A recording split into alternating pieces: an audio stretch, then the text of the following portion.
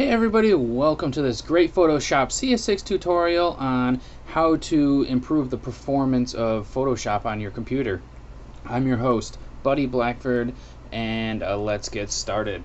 so, we're going to come up here into the preferences. So let's go to Edit, and then Preferences, and then we'll come down to uh, Performance. And this is where we can start um, assigning different like performance tasks. So the first thing I want to go over with you is this uh, scratch discs down here. Now, when uh, Photoshop is working on something with a lot of uh, stuff it needs to process, it will use your RAM first. But after the RAM runs out, then it'll use these uh, scratch disks to um, use the uh, to uh, distribute the workload and perform an operation. So it'll use free space on your on any available drive. So any of the available drives you have are called scratch disks that um, that they will use. So it's best to, to uh, divide the workload. So I'm going to go ahead and check my external hard drive here and use that as a scratch disk.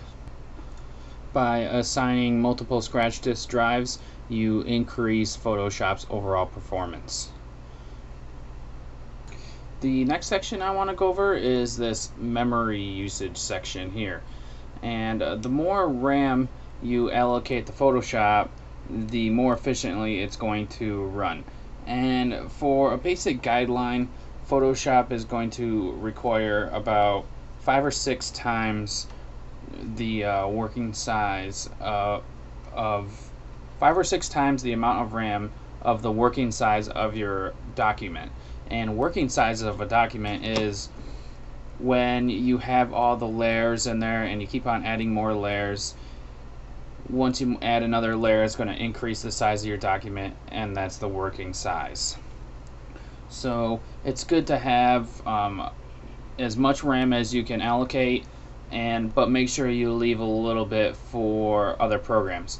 If you're using like two programs at once like if you're going to use like After Effects and Photoshop at the same time, then you may want to lower the allocation of or lower the available RAM for Photoshop and up up the available RAM for After Effects.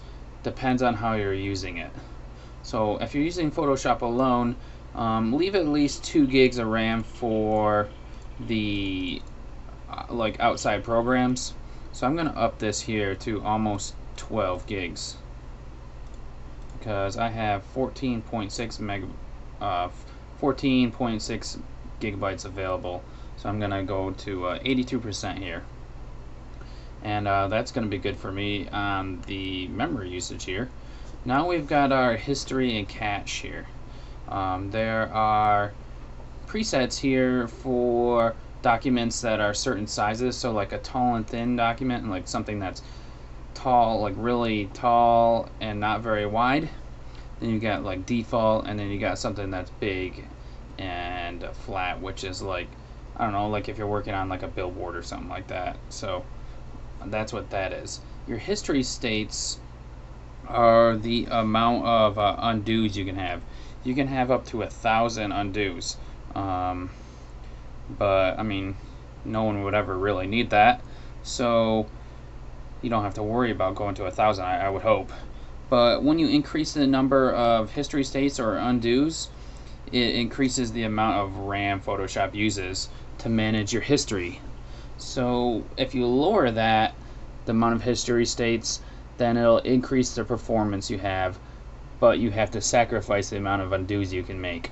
So that's a, it's like a, um, I can't remember the term, but it's like a either like a win lose kind of thing, I guess.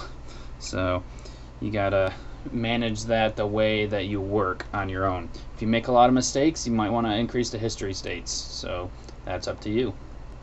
So the uh, cache levels here are screen redraws. And if you hover over top of like the cache levels here, down at the bottom of the preferences, there's a description, and I'll read it to you real quick. Um, number of cache levels of image data, used to improve screen redraw and histogram speed.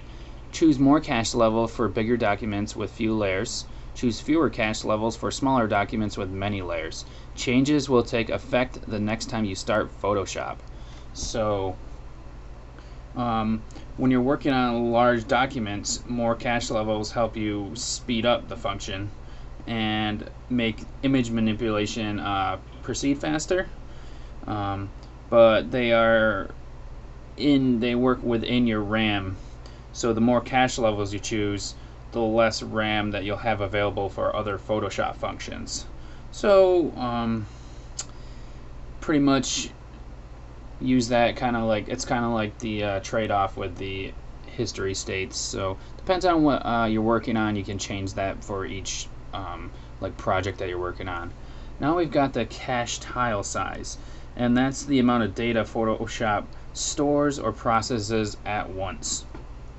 So use a large tile size for large documents to speed up processing.